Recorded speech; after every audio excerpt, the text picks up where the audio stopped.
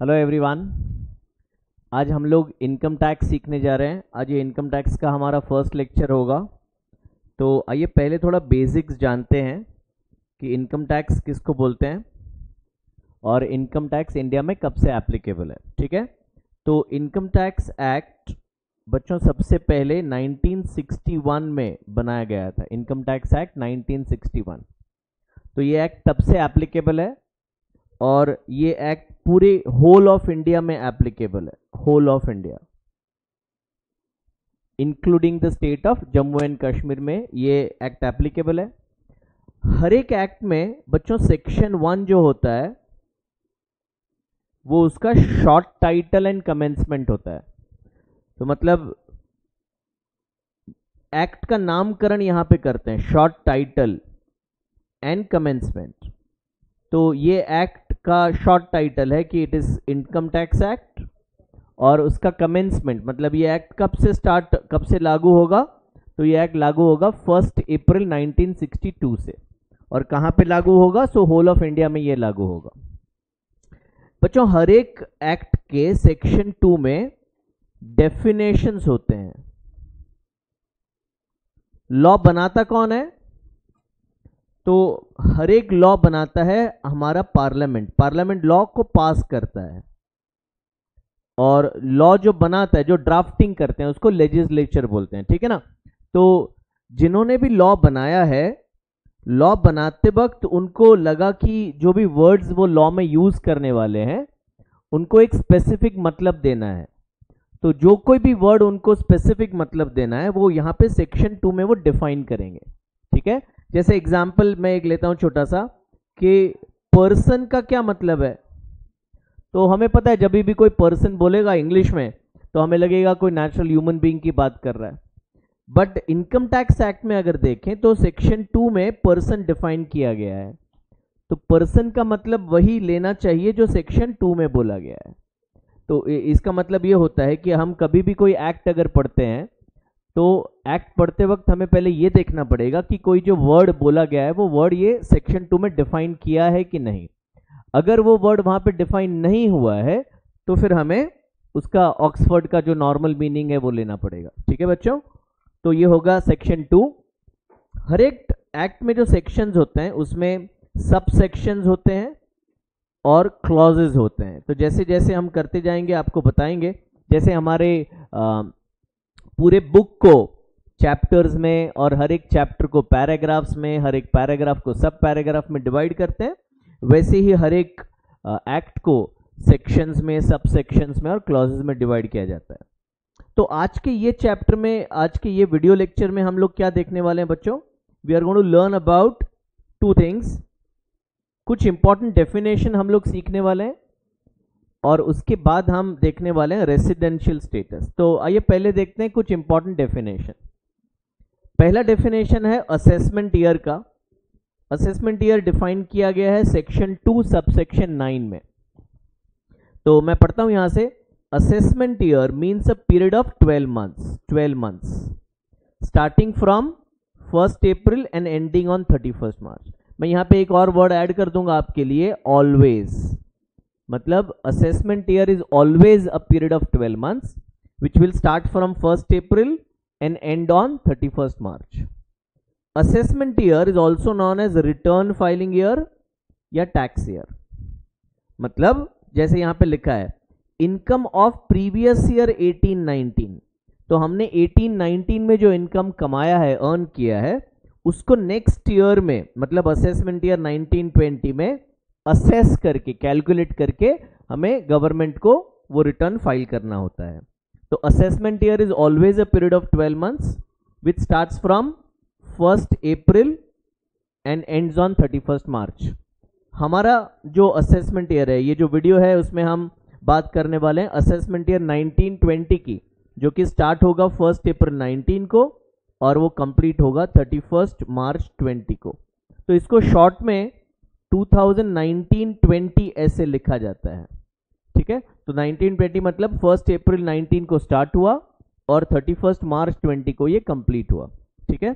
तो assessment year section two sub section nine में define किया गया है which is always a period of 12 months आइए देखते हैं प्रीवियस ईयर का क्या मतलब है।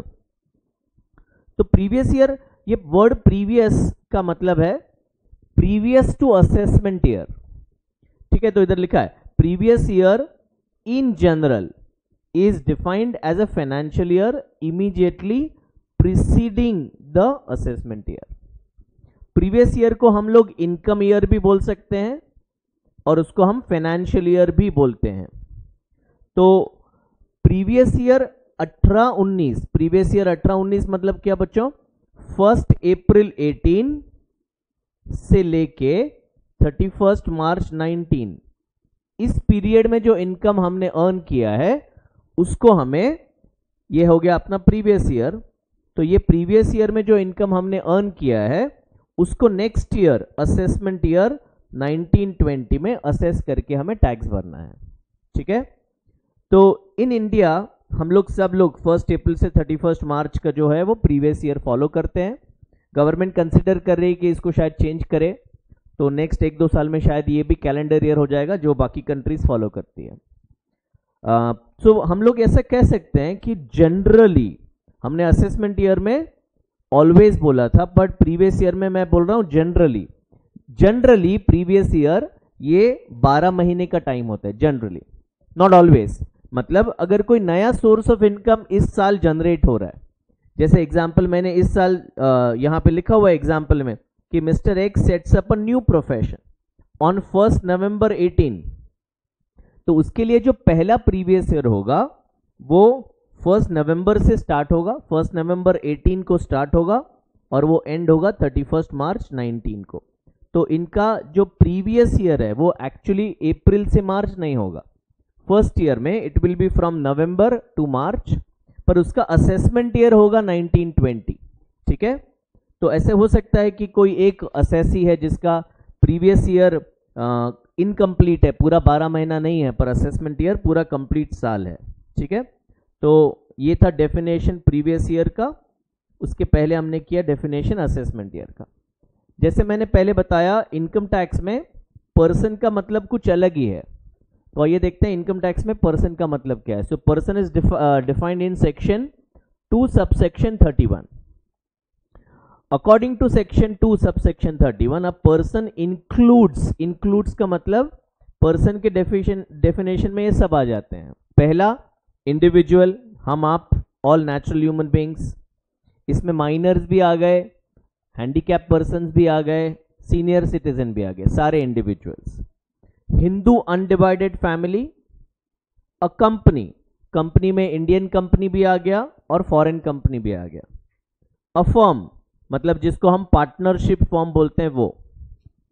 एसोसिएशन ऑफ़ पर्सन इसको शॉर्ट में एओपी बोलते हैं और बॉडी ऑफ़ इंडिविजुअल इसको शॉर्ट में बीओआई बोलते हैं। As the name suggest body of individual मतलब एक ऐसा बॉडी जिसमें सिर्फ़ इंडिविजुअल ही मेंबर हो सकते हैं। जैसे एग्ज़ाम्पल कोई trust trust of educational institute तो उसमें सारे जो ट्रस्टीज हैं, वो सारे के सारे इंडिविजुअल होते हैं। तो बीओआई का मतलब बॉडी ऑफ़ इंडिविजुअल एओपी और बीओएमआई कोई ज़्यादा फ़र्क नहीं है। इधर एसोसिएशन ऑफ़ पर्सन लिखा है। मतलब से एग्ज़ाम्पल हमारा जो कोऑपरेटिव हाउसिंग सोसाइटी है जहाँ पे हम रहते हैं तो उसमें मेंबर्स कौन हो सकते हैं? इंडिविजुअल भी हो सकता है, एक एच भी मेंबर हो सकता है। तो इसका मतलब एसोसिएशन ऑफ़ पर्सन में it is association where any body who is a person can be there local authority local authority मतलब जो हमें सैनिटेशन वगैरह सर्विसेज़ प्रोवाइड करता है, जैसे बीएमसी हो गया नगर पालिका हो गया, ग्राम पंचायत हो गया, वो सबको लोकल अथॉरिटी बोलते हैं। और every artificial person not falling with in any of the preceding categories artificial person मतलब जो नेचुरल ह्यूमन बींग नहीं है, और वो ऊपर के छह कैटेगरी में से किसी भी में फॉल नहीं हो रहा है। Then it is consider as artificial person which is not falling under the above category इसका एग्ज़ाम्पल हमने नीचे दिया है। आइए देखते हैं एग्ज़ाम्पल लास्ट वाले का।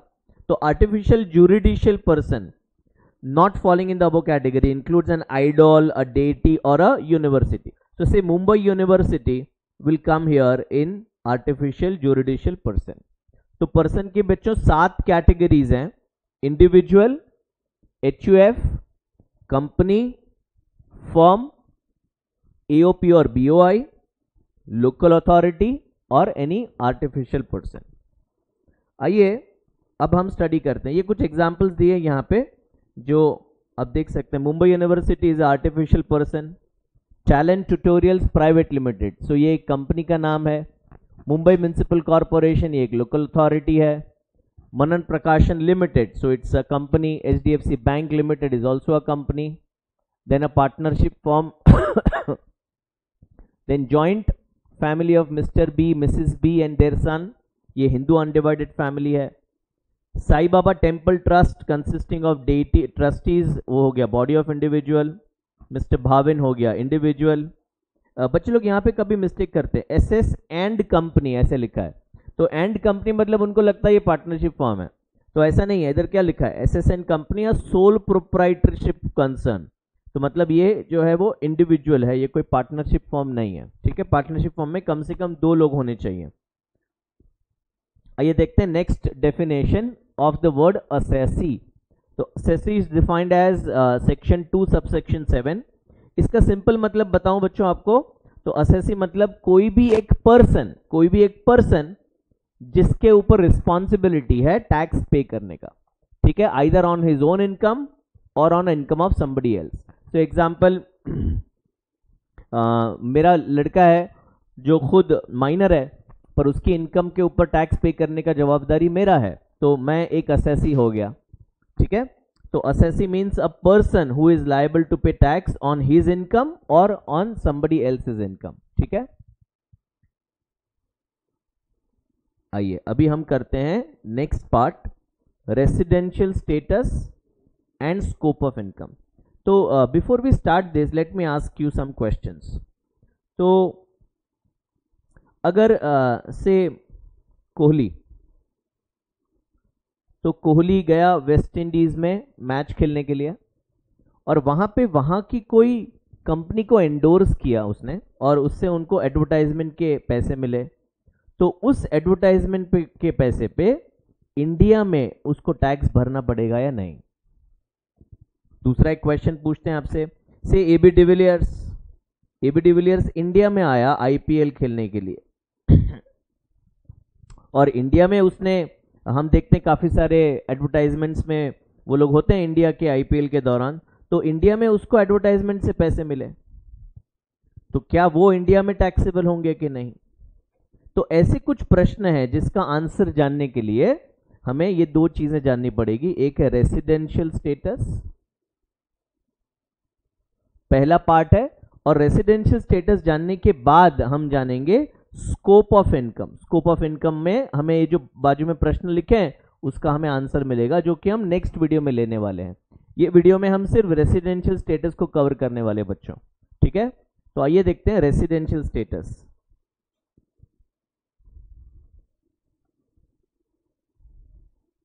तो इंडिविजुअल का रेसिडेंशियल स्टेटस हम लोग पहले ले रहे हैं और इंडिविजुअल के रेसिडेंशियल स्टेटस में तीन पार्ट्स हैं बच्चों।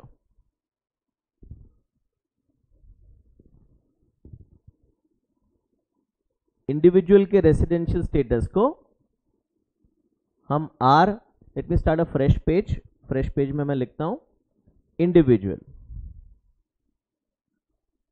तो इंडिविजुअल का रेसिडेंशियल स्टेटस पहले ब्रॉडली दो कैटेगरी में डिवाइड किया जाता है। One is R and another is N R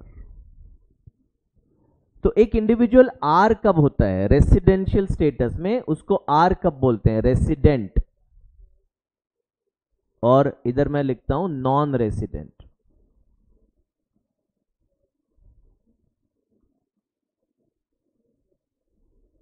resident and non resident ठीक है? तो एक इंडिविजुअल रेसिडेंट कब कहलाया जाता है? जब वो कुछ बेसिक कंडीशन फुलफिल करे। Basic condition section six subsection one A में बोली गई है।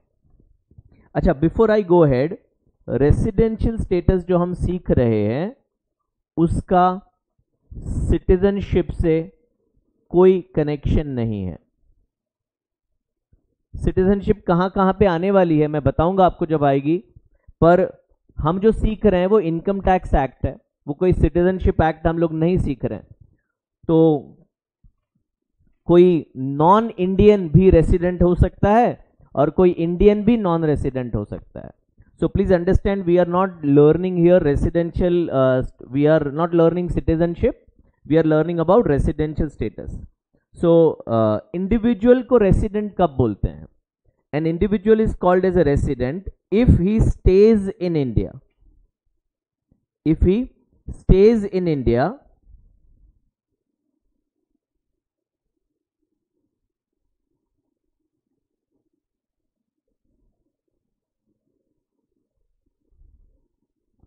for 182 days or more in previous year 1819 मतलब कोई इंडिविजुअल अगर इंडिया में इस साल 1819 में 182 डेज़ या ज़्यादा रह जाता है then he that individual is called resident in India अगर कोई इंडिविजुअल ये कंडीशन फुलफिल नहीं करता है तो उसके लिए हमें दूसरा कंडीशन चेक करना पड़ेगा।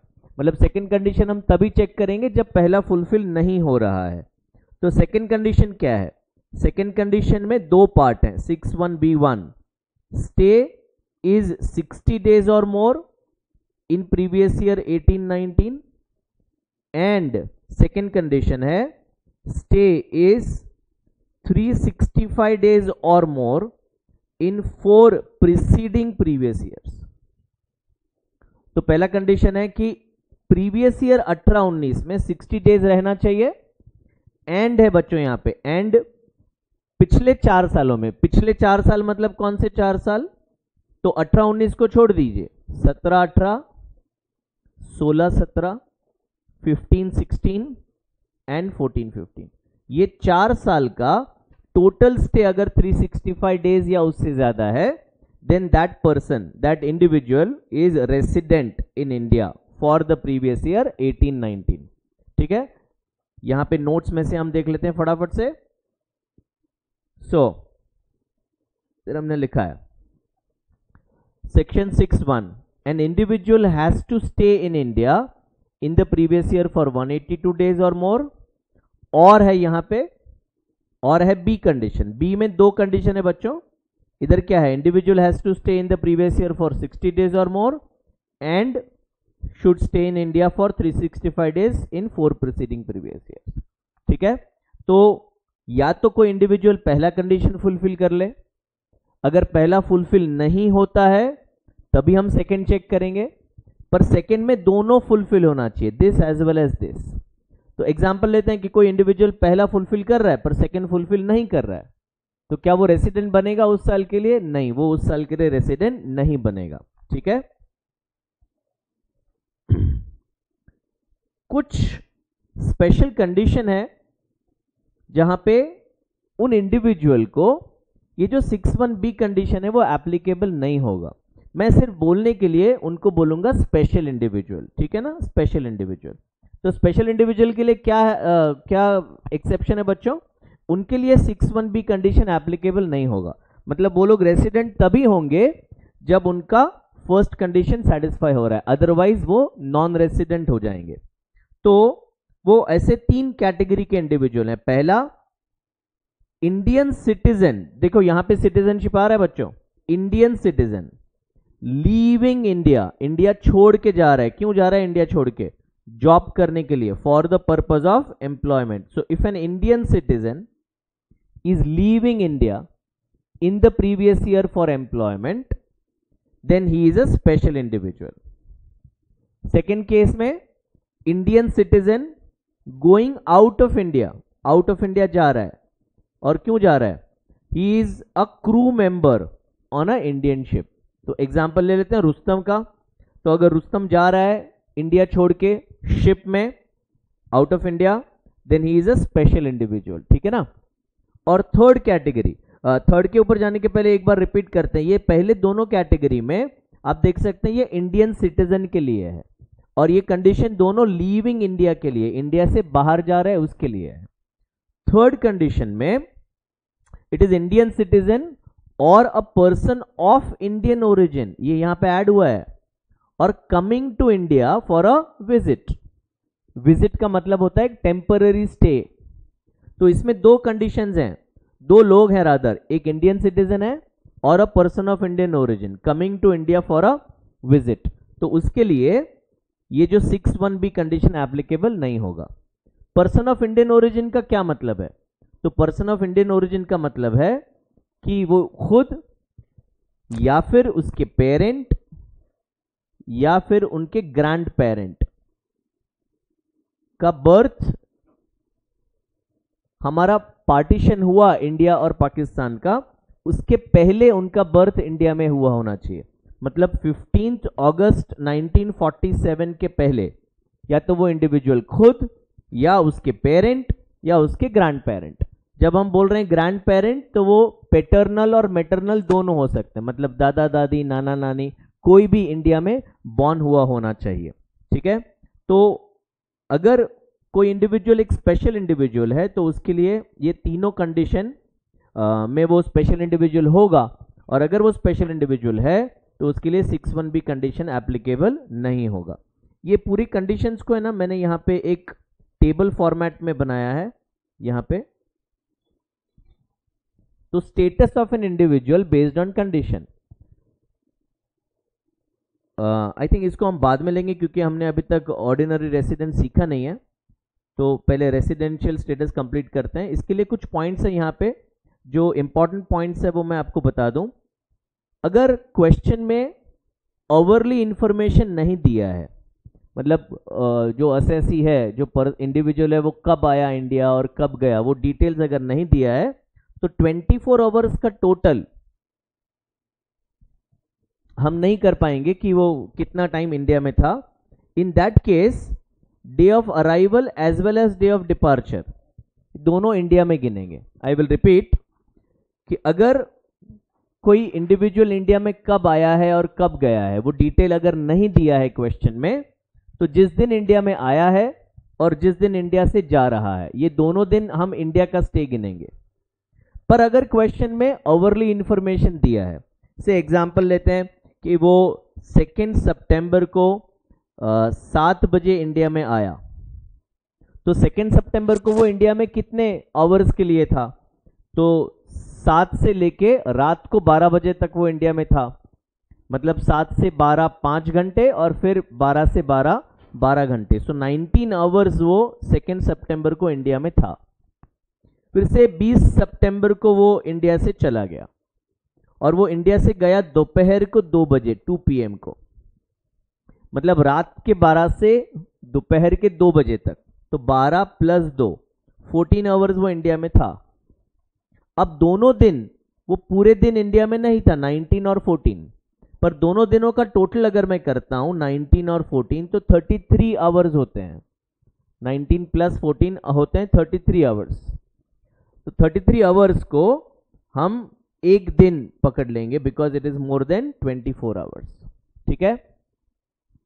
तो अगर ये इंफॉर्मेशन ही नहीं दिया है कि सेकेंड को वो कब गया ट्वेंटी को वो कब गया? ये इंफॉर्मेशन अगर क्वेश्चन में नहीं दिया है तो हम दोनों दिन day of arrival as well as day of departure दोनों दिन को हम स्टे इन इंडिया अज्यूम करेंगे। ठीक है? बाकी नोट्स को मैं पीडीएफ में कमेंट uh, सेक्शन में डाल दूँगा। इसके बाद के वीडियो में हम रेसिडेंशियल स्टेटस के सम्स करेंगे। ठीक है? Thank you very much